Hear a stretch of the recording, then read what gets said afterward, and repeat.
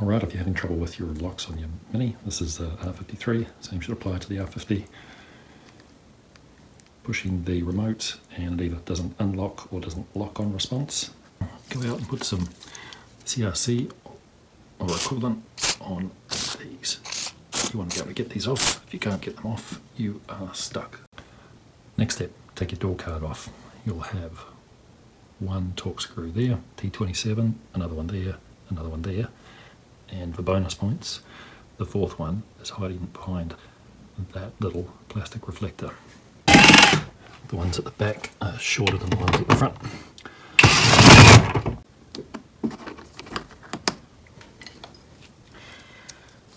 This is what you're trying to remove, just three little, trying to remove these three little clips. Should have a reflector on the front here, but again, one of the first things to break.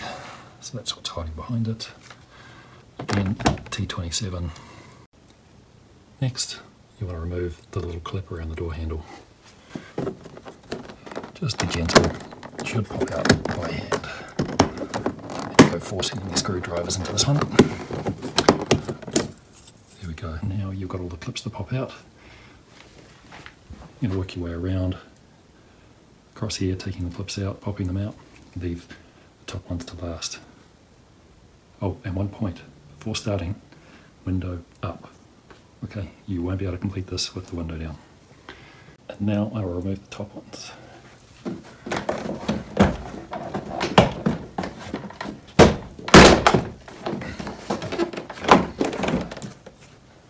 Just be careful with this lock. Just breaking these loose before I go any further ahead. I won't take them all the way out. These are very tight. I'm using a quarter inch ratchet. First job, we will mark the location of the where the window regulator attaches to the bottom here. I'm going to move that. We don't want to lose the current position. So, permanent pen and mark the location because it's notched. It's easy to get back to exactly the same spot. There we go, just a line there. Underneath the door now, we're going to remove that 10 millimeter socket. Move that uh, window stay back far as we go. need to make room to get the lock actuator out. Door handle, I'm going to remove this cable, this wire going to the speaker, and one, two, three Phillips head screws taking this cable out, a bit of a pull, cable out first, turn, and then this comes out. Cable then pops out of these clips. One, two, and then we will take out this rubber grommet. Actually, we're going to push it into the door. Here we go, because that's the way it needs to come out. The manual door lock it's a steel rod which goes into a green clip at the back. Most of this job is done by feel. Next is the cable to the door handle from the outside. You need to get this cable out from that sleeve, plastic sleeve, and first you'll need to remove this little uh, end on the cable, which is a funky little twister. And this is the part that comes out with some twisting. Ones I wasn't able to show you was this electrical connector here and this one that goes to the door lock. We are now on the bench. We pop this cover off to get to where the cable goes in. There we go. That's where it attaches.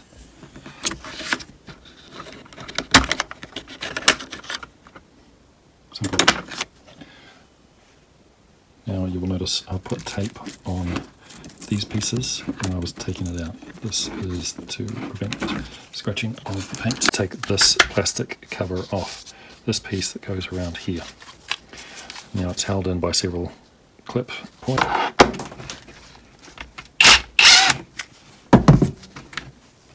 This has come off, all right.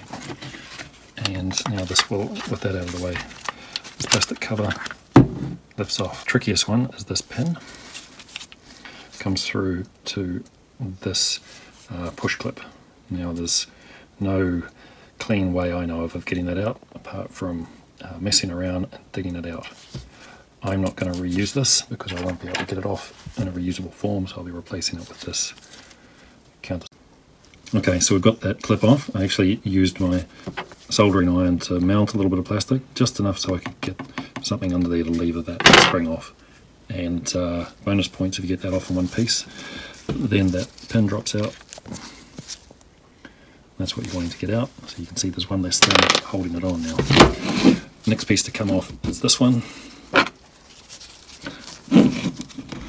So we're taking this plastic guide off. Clip, that's out of the way. Done. Next one is this. There we go. So this piece slides up. There's a little spring underneath. You can see that gear lever that we're taking this off. Okay, now this, note the way it sits on there, but it is now loose.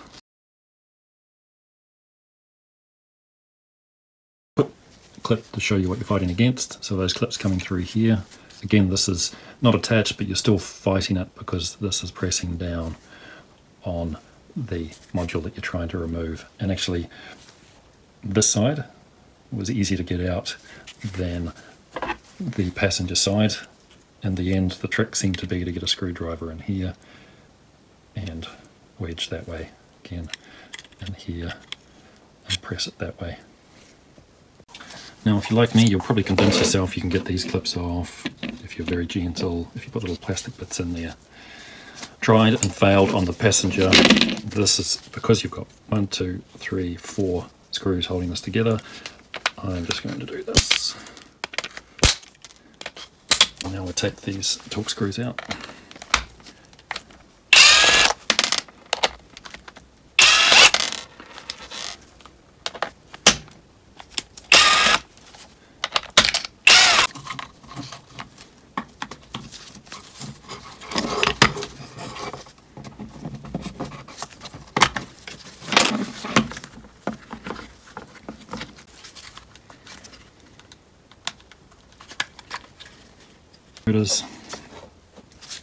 Normally this one's fine and this is the one that's causing problems.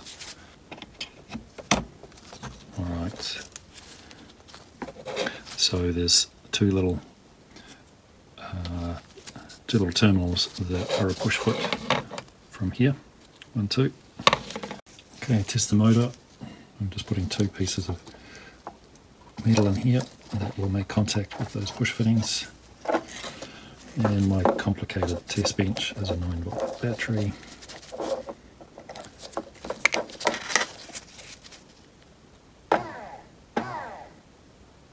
Okay, so it is working. I think it's just a case of this one was getting weak. Okay, if there is a right tool for getting these things open, I do not have it. Basically, I've whittled away at that little piece of metal. Uh, suggest you use a vise or a clamp or something so you don't stab yourself in the finger um, while you're levering away with a sharp pointed tool.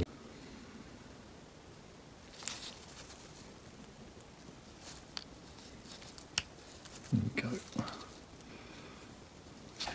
I like these because they're nice little gentle ones. Hopefully you can get some that have been thrown out, otherwise you'll find something in your drawer. I'm also using contact cleaner. Now you don't want to be using brake cleaner or something like that. And this is just cleaning away a lot of that muck. It's disappearing, ending up on the bench. Give it a little clean. Doesn't take much. It's just accumulated. All that dust has got nowhere to go. So it builds up and eventually shorts these points out or wears them down.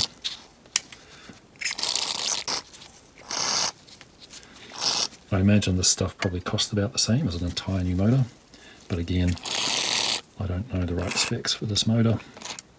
And I know it's hard to get one with the shaft this length. Much cleaner. Now you're putting these two back together. Now if you just try pushing it in, you are going to bend and snap this. So you'll hear mention of a paper clip. Just take a paper clip and bend the end over like that. Can then go in here and hold them apart. some of the most fiddly repairs on the Mini.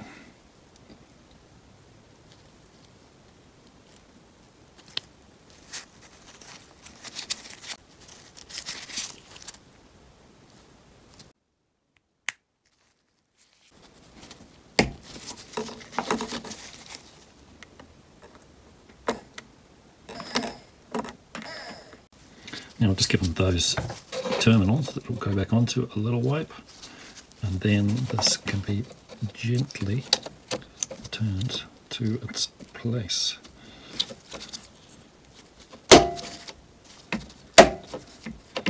Okay, so those motors are cleaned up, put back together, tested and back in. Now we need to put it back together again. I can easily show what I'm doing here, but I'm sure this is something you'll eventually work out.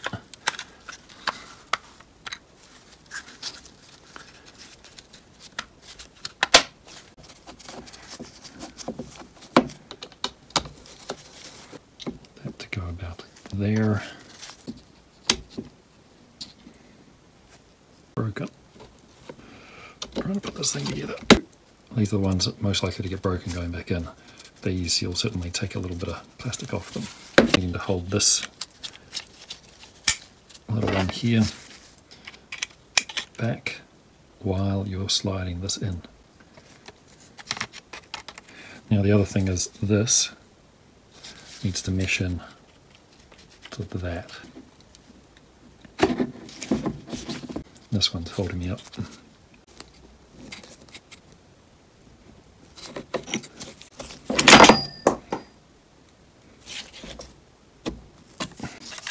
Out of the way.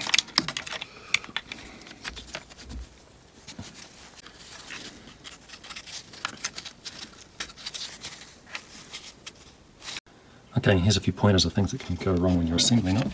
Make sure that this little arm here is on the outside of this. This big arm here, it's easy to get that on the wrong side. The other one. Now here's a mistake I prepared earlier. I have this in the wrong place. This bracket should be on this side, so I need to remove that. Okay, that's how it should be, with metal bracket on this side of this guy. Um, I don't know if it makes a difference, but we've got this little cam here. See, that can be turned. Um, when it came out, it was pointing with the little bird's head towards the side. So that's the way I'm going to put it back in. Make sure you've connected this clip across to here. Putting this countersunk bolt in here. Putting this one back on seems to go a bit easier if it's still on this side. Make sure that's in. Okay, get it all on, and then we've got one, two, three points to clip backwards. Goes in here. That's not too bad. I will put that, I'll that in here.